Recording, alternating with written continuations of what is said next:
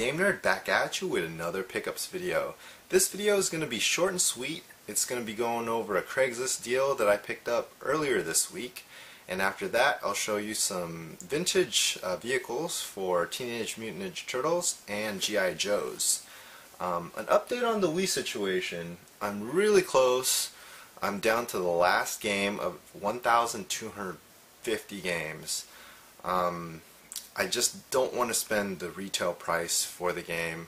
Um, the last game, it cost maybe $25 or so because it was made in the late um, 2014. So since it's one of the last games that was produced, um, GameStop's not even carrying it in their stores. Um, so it makes it a little bit tough to find. I mean, I could still go to Toys R Us and buy it for retail, but I don't want to do that. I want to find it in the wild, or I want to trade for it, or I want to find it cheap somewhere. So I'll be patient and wait for that last game to just pop up somewhere and I will finish my Wii collection and then I'll probably do like a Wii collections video and show you everything. Um, so enjoy the video, hope you like it. Um, don't forget to subscribe, comment, and thumbs up. really helps. Thanks. Here's a nice little Craigslist lot that I picked up today. Um, has a lot of PlayStation 1 games, um, some Game Boy games, N64, Dreamcast. Um, overall, there's seven systems and 16 controllers, um, and there's about 50 games included in this lot. And I was afraid that I wasn't going to get this lot because I've been contacting the guy for the last two days, and he finally met up with me um, this afternoon, and we struck a deal I was afraid that he was going to get some higher offers from other um, competitors around the area. Um, there's a lot of people going for th this retro stuff, so especially around my area. And I was right because when I talked to him, he said he had a couple other people who offered a lot more than I did. Um, I was one of the first people who contacted him, but I offered him less than half of what he was asking for. But um, he was a straight up guy. He was really nice. Um, he honored the deal because he already said yes uh, when I first asked him about it. So that was really cool that he didn't um, back out the deal and go for the extra money, which a lot of people would do. Um, so up at the top, we have 16 controllers for the seven systems that he included in this lot.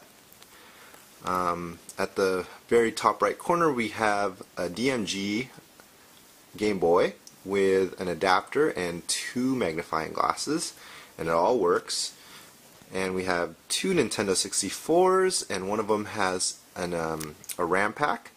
We have a PlayStation 2 Slim that has all the cords. It's just buried under that pile.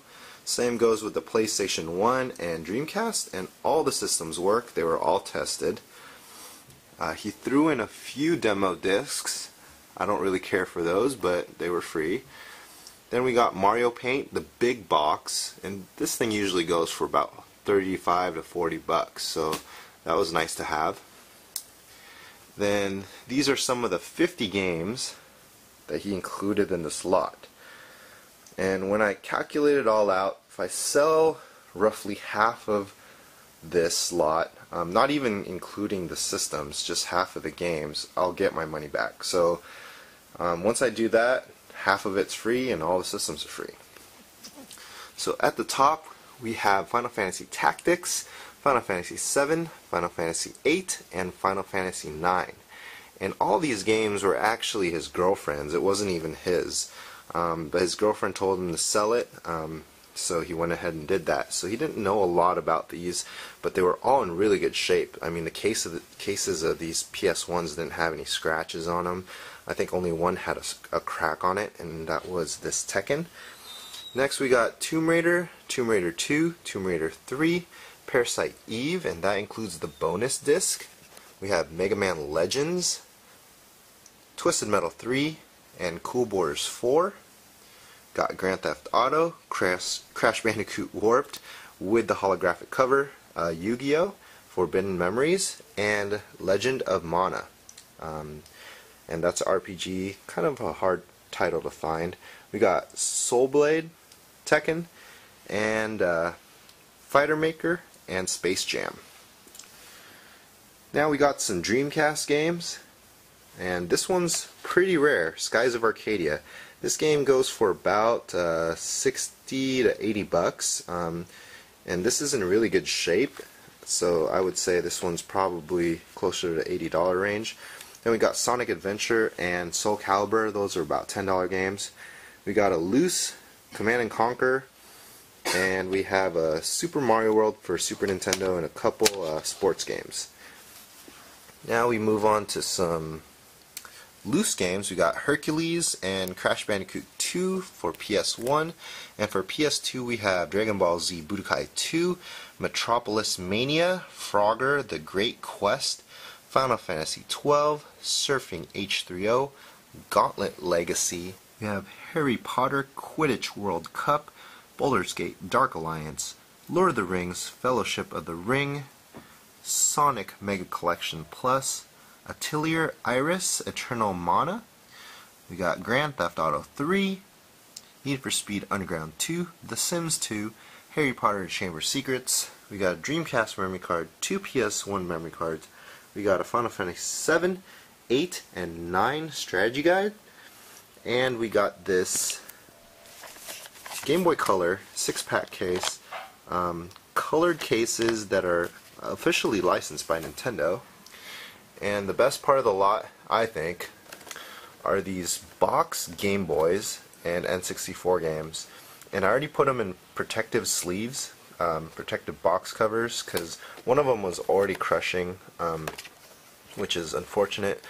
But these are kind of pricey. Like Megalith up here, complete in box, is like 50 bucks, but card alone is like 5 um, Kirby's Dream Land, Super Mario Land, Super Mario Land 2, and Yoshi.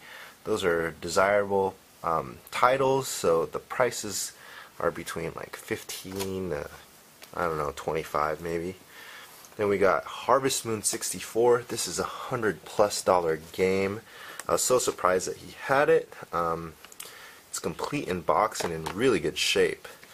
Uh, Unfortunately, this Zelda Ocarina of Time, the top is just has some issues up up there. It was crushed a little bit, but the front looks pretty good and the bottom's pretty good too. Um, in this shape, complete in box, it's still worth um, uh, 40, maybe 45 bucks. So overall, several systems, several controllers, and a whole bunch of games. These are some toys I picked up at Value Village. These are vintage G.I. Joe and Teenage Mutant Ninja Turtle vehicles. Over here we got the Warthog. Um, this was made like 1989 or 1990. It does come with the missiles and antenna, which are kind of hard to find, but it is missing some pieces. But I checked online and these are going for anywhere between 20 to 40 depending on condition and completeness. Um, the ones that are 100% complete go for a lot more. And I got that for uh, three bucks. Also three bucks, we got this uh, Parasite vehicle. Um, not too expensive. This was made in 1991. Um, probably goes for 15 in this condition with some missing pieces. Uh, this, I'm not sure what it's called, so if you guys know, let me know. But the bottom, um, it folds and it becomes like a hovercraft of some sort.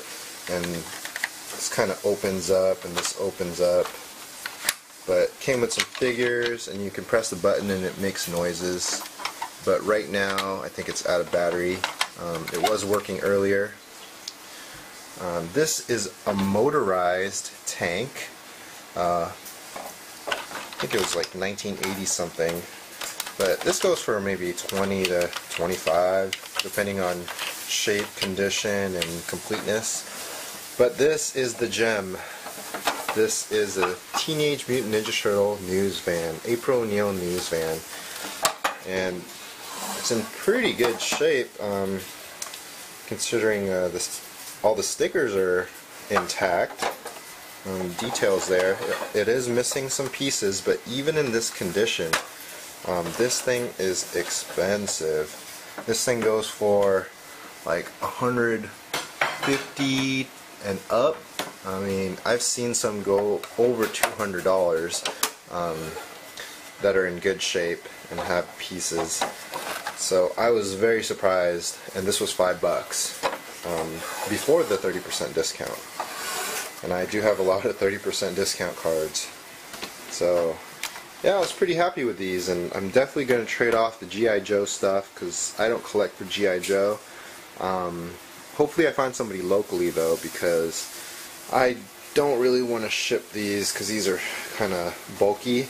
Um, but the news van, I am definitely keeping that, especially since I traded away my my turtle van um, for some video games. But this one I want to keep.